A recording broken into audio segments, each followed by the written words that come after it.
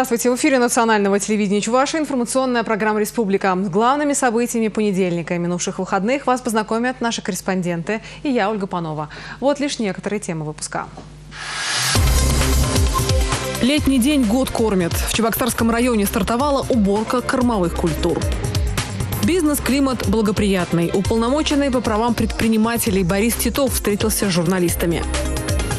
Коси коса пока роса. Более 800 спортсменов приняли участие в 18-х сельских играх.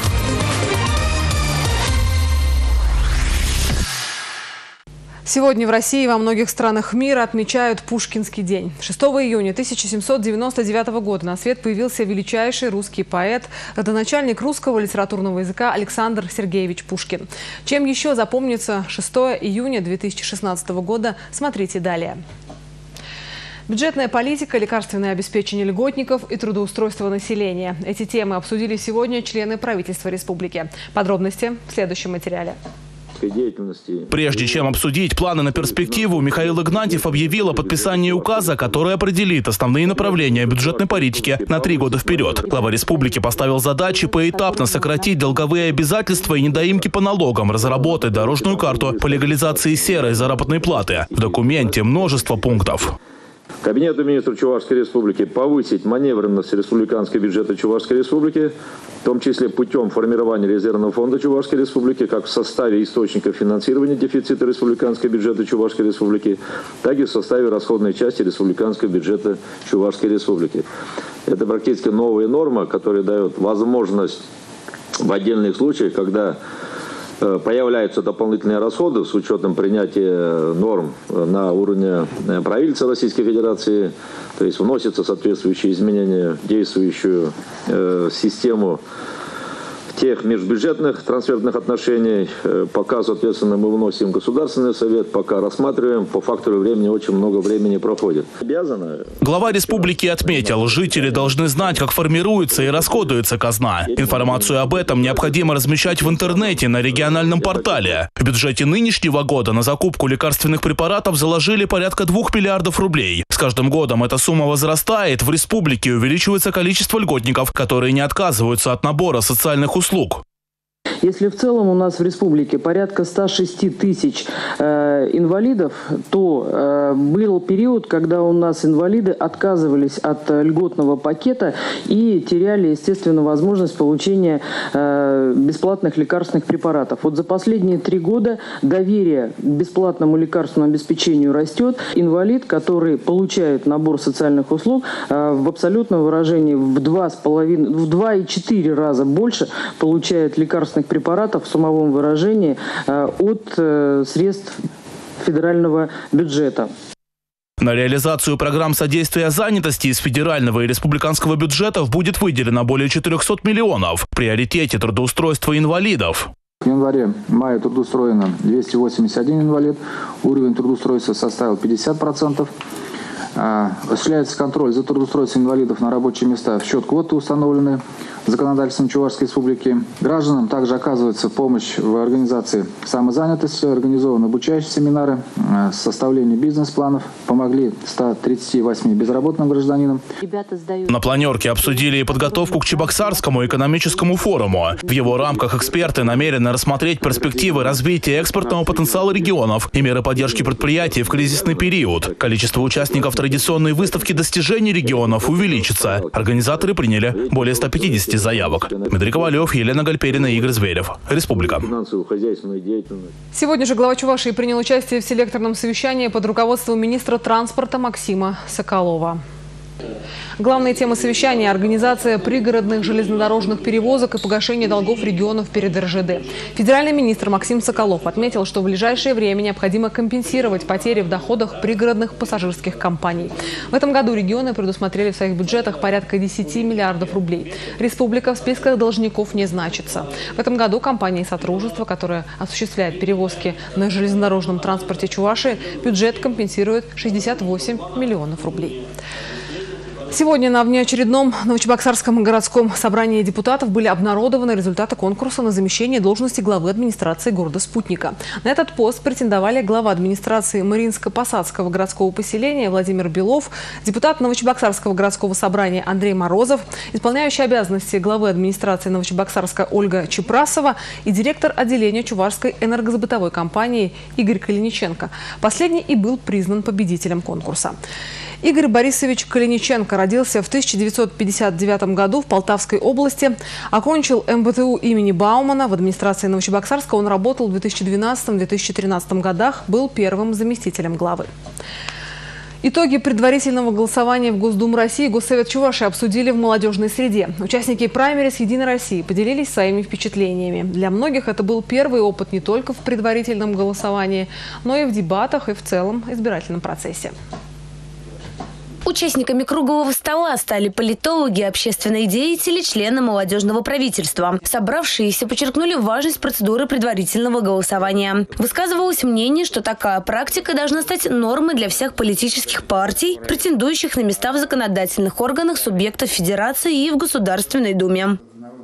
Сама идея, она дает нам то, что люди начинают узнавать своего кандидата, начинают уже выбирать. То есть предварительное голосование, предварительное узнавание? Да, предварительное узнавание. И народ уже выделяет из всех э, кандидатов единственного, которого знают они э, не на словах, а на деле. Потому что нам приходилось ездить во все сельские поселения. Я вот по своему участку говорю. И ну, многие говорят, что наконец-то говорят, мы видим живого кандидата. Напомним, что в предварительном голосовании в Госдуму победили в одномандатных округах заместитель председателя Госсовета Чувашии Николай Малов и глава города Чебоксары Леонид Черкесов. По партийному списку лидером стала действующий депутат российского парламента Алена Аршинова. Окончательное решение о том, кого единороссы выдвинут кандидатами в депутаты, будет принято в июне на съезде партии. Глава Чувашии призвал все хозяйства республики мобилизовать силы на уборку кормовых культур. Как идут работы, Михаил Игнатьев узнал, узнал побывав в Чебоксарском районе. 600 тысяч тонн сена по 200 тысяч тонн силоса и сенажа. Таков план у хозяйства республики по заготовке кормов для животноводства. Вот это нам позволит выполнить наши планы, э, поставленные планы. В этом году мы задачи ставим молока надоить около 147 тысяч тонн. Э, в хозяйствах и около 127 тысяч тонн мяса произвести. В ОАО «Чурачикская» сейчас идет заготовка сенажа. Уборочная техника вышла в поля уже в конце мая. Работы планируют завершить в кратчайшие сроки. Продление одного дня или там на несколько суток в конечном итоге э, дает э, некачественные корма. Потому что надо корма убирать, э, кормовые культуры убирать, когда как раз они в фазе бутонизации, когда белковые, протеиновые содержания максимальное количество. Сегодня косилки и комбайны вышли в поля в 15 районах республики. Глава Чуваши Михаил Игнатьев призвал всех руководителей хозяйств мобилизовать силы на заготовку кормов. Надежда Яковлева, Татьяна Раевская, Игорь Зверев, Республика. Взаимодействие руководства республики и бизнес-сообщества позволяет сохранять положительную социально-экономическую динамику в республике, отметил уполномоченный по защите прав предпринимателей при президенте России Борис Титов. Жалоб от бизнесменов в Чувашии поступает значительно меньше, чем прежде, сообщил омбудсмен прессе.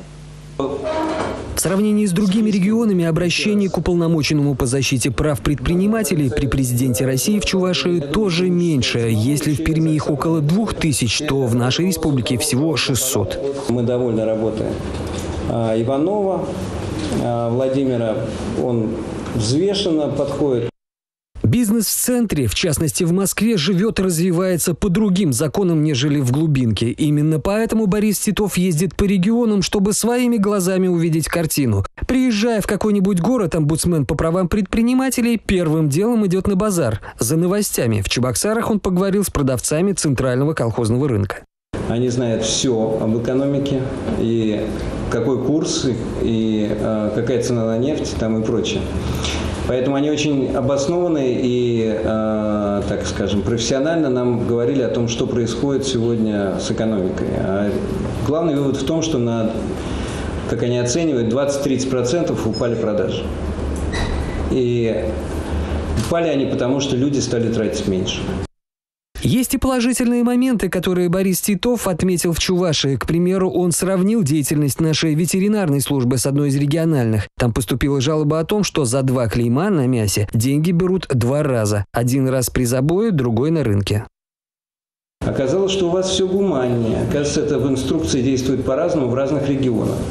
Кажется, у вас, да, надо два раза штамп, но за, за второй штамп деньги не берут. 10%. В целом, Чувашия имеет отличные возможности по привлечению бизнеса на свою территорию, подчеркнул омбудсмен. Родион Архипов, Расиль Мухаметов, Республика. Условия содержания заключенных в следственных изоляторах обсудили представители власти и общественных организаций под эгидой уполномоченного по правам человека в Чувашской республике. Открыто об этих проблемах не говорилось уже давно. Как улучшить условия пребывания в местах предварительного заключения? Эта тема обсуждается не первый год. Конечно, со времен Советского Союза условия изменились к лучшему, но мы все равно далеки от европейских стандартов. Нарушения из года в год они выявляются, из года в год принимаем э, совместное решение с усилием об устранении тех недостатков, которые были выявлены непосредственно органы прокуратуры. Чувашии два следственных изолятора и около 20 помещений временного содержания подозреваемых обвиняемых в совершении преступлений. Общая наполняемость около тысячи человек. Изоляторы в Чебоксарах и Цивильске размещаются в зданиях постройки 16 и 19 веков и постоянно требуют ремонта. Строится третий сезон на 500 мест, но процесс этот растянулся на многие годы. По европейским стандартам на одного заключенного полагается 7 квадратных метров площади, по российским – 4. Есть и множество других требований, но они редко где соблюдаются. Часто человек выходит из изолятора с различными заболеваниями и сломанной психикой. Кроме того, рассматривается вопрос о приравнивании одного года в СИЗО к полутора или двум годам в колонии.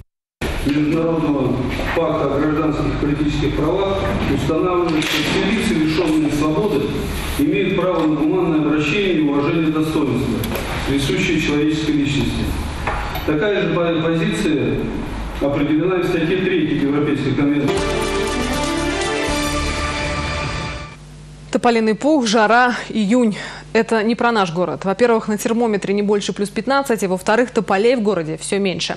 Об этих и других деревьях, растущих в городской черте, Ольга Пырочкина. 8 литров углекислоты. Столько за один час выделяют с дыханием 200 человек. Поглотить его за это же время в среднем может один гектар зеленых насаждений. Если пересчитать, то дыхание троих человек может обеспечить одно дерево средней величины. Чебоксары э, является одним, одним из самых зеленых городов России. Общая площадь зеленых насаждений в городе составляет 38% от, от всей площади города. Площадь столицы Чувашии около 25 тысяч гектаров. Население чуть меньше полумиллиона человек. Исходя из вышесказанного, в Чебоксарах должно быть не менее двух с половиной тысяч гектаров зелени. По расчетам, сейчас их девять с половиной тысяч. В советские времена зеленители отдавали предпочтение тополю. Саженцы недорогие, дерево неприхотливое и быстро растет. Все эти плюсы перечеркнул один пушистый минус. Несправедливо говорят, что вот тополь аллерген. Не сам тополь аллерген, а вот пух, который выделяется, на себе адсорбирует все те вещества, которые могут вызвать аллергию. Но фактически это дерево очень э, благоприятное для города. Настолько много полезных веществ оно выделяет, настолько много вредности оно в себя впитывает. Сажать тополя перестали, а к уже существующим применяют так называемую формовочную стрижку. Основной ствол укорачивают на 4-6 метров. После этого дерево не пылит несколько лет. Хорошо поддаются формовочной стрижке липа. Сейчас это самые распространенные деревья на улицах города. Чаще всего их стригут под шар, но встречаются и более экзотические варианты, например, куб.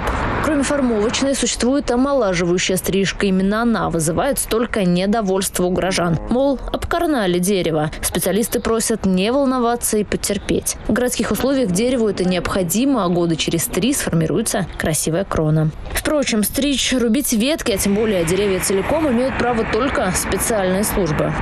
Если вот, допустим, а, у вас во дворе э, аварийное дерево, то есть она наклонено или высохла, то, то вам надо обратиться в МБУ Управление экологии города Чебоксара. Наши специалисты выйдут и обследуют данное дерево и дадут э, соответствующие ордеры решения на вырубку. Так Как же следует действовать, если вам кажется, что в квартире не хватает солнечного света? Вырубку нельзя начинать без определения уровня инсоляции. Что касается экзотических для нашего климата деревьев, таких как каштаны или кедры, то их приходится спасать не от топора, а от лопаты. Нередко деревья выкапывают, чтобы посадить у своего дома или на даче. Правоохранительные органы предупреждают, за саженцами нужно ходить на рынки и в питомники, а не городские парки. Штраф за это административное правонарушение может достигать нескольких тысяч рублей. И это не считая мук совести. Ольга Пырочкина, Олег Якимов. Республика. Улыбнись соседу. Аналитики портала «Домофон» составили рейтинг дружелюбных городов России. Самыми добрососедскими городами стали Грозный, Орск и Нальчик. Чебоксары заняли в списке 48-ю строчку из 100. Респондентам предложили оценить утверждение. Люди, с которыми я живу по соседству, в основном дружелюбные и вежливые, по десятибальной шкале. В вопросе приняли участие около 300 тысяч человек, из них более тысячи чебоксарцев. Столица Чуваши набрала 7,5 баллов. Среди городов ПФО самую высокую строчку занял Стерлитамак. Он расположился на пятом месте. В целом, жители России оценивают своих соседей положительно. Разница между первым и последним местом составила всего 1,6 балла. Мы хотим всем рекордам наши звонки дать имена. В республике завершились 18-е сельские спортивные игры. 18-е сельские спортивные игры на два дня деревни Яныши превратилась в большую спортивную площадку. Более 800 участников из 21 района встретились в Чебоксарском районе. Торжественная церемония началась с интересного праздничного представления. Здесь были детсадовцы на велосипедах, школьники и, конечно же, спортсмены.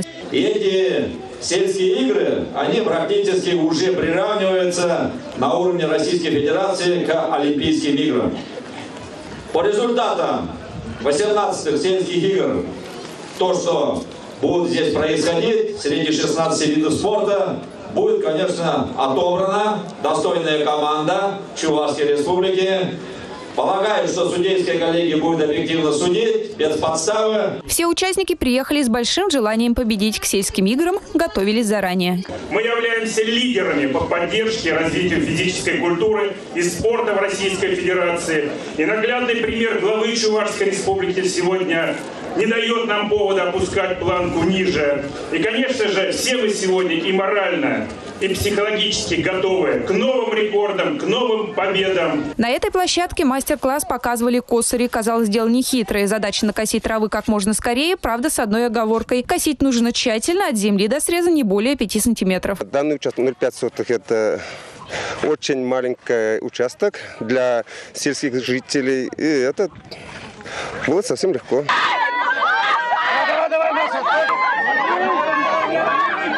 Сильнейших выявляли и в масс-рестлинге. Его правила очень простые. Для победы спортсмену необходимо вырвать палку из рук соперника. При этом ноги упираются в доску. Поединок длится до победы в двух раундах. Для Марии Петровой победа в этом соревновании была полной неожиданностью. В такого вида соревнованиях я участвую в этом году в первый раз. Заняла второе место, чем очень сильно горжусь.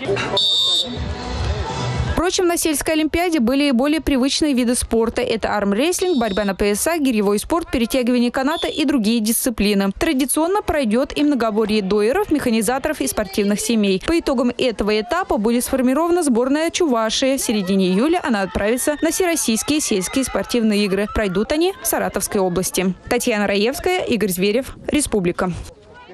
Первое место заняла команда Чебоксарского района, второе – Вурнарского района, на третьем месте спортсмены из Ибресинского района. Таким был этот понедельник глазами корреспондентов программы «Республика». Я, Ольга Панова, с вами прощаюсь и до встречи в эфире национального телевидения Чувашии.